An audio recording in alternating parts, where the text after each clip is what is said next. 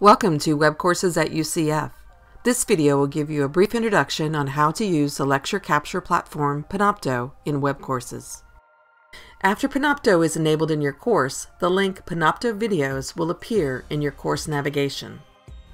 When you click Panopto Videos for the first time in your course, it will create a connection between Web Courses at UCF and Panopto.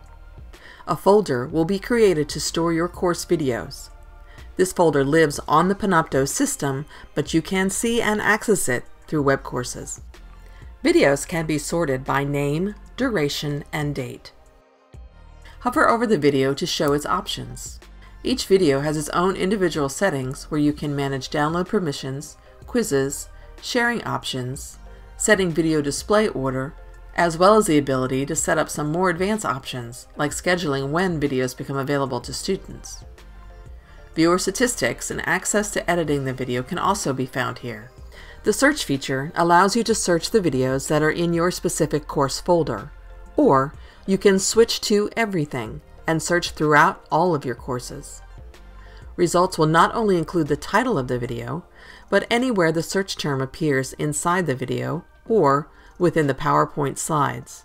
Click on any one of those search results to jump right to that point in the video. Next, click the Create button.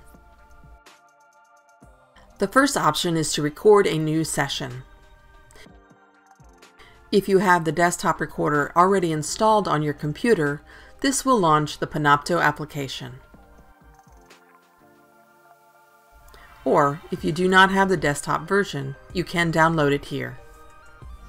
The next feature listed is Panopto Capture. This feature is still in beta form and currently being tested by UCF. We do not recommend using it at this time. The Upload Media option allows you to upload other videos, audio, or presentation files. The Scheduled Recording feature in Panopto grants you the ability to schedule a video session to start and stop automatically without needing someone to be at the recording computer. This feature is primarily used to record in a physical classroom setting. The playlist feature allows videos within your Panopto site to be presented in a single, ordered list even if those videos exist in different folders.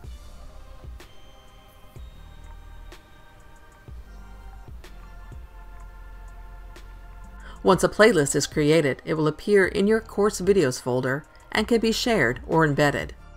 Also included under the Create button is the ability to create subfolders if needed to help keep videos organized.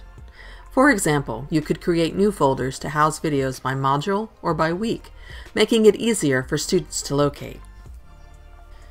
If you wish to open the Panopto tool in its own window, click on the arrow in the top right menu. Using this option opens up two additional features under the Create button. The first is Webcast. This allows you to create a shareable link for your own live webcast. The second feature, Build a Session, is another option for uploading already existing videos, audio, and presentation files. If you have accidentally deleted a video from Panopto, you can click the system icon on the bottom left of the page and select Recycle Bin to restore the video. When your course folder is created in the Panopto system, it is automatically shared with all the instructors and students in the course. No additional sharing steps need be taken. However, if you wish to include a Panopto video in a page, assignment, discussion, or quiz within your course, you can elect to embed your videos as well. For this example, we will embed a Panopto video in an assignment. Click Edit.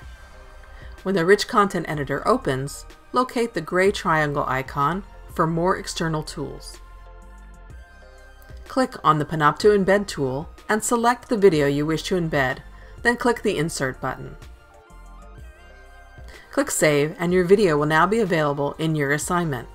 This concludes our video on how to use Panopto with web courses. For more information on Panopto or other web courses topics, please visit cdl.ucf.edu support.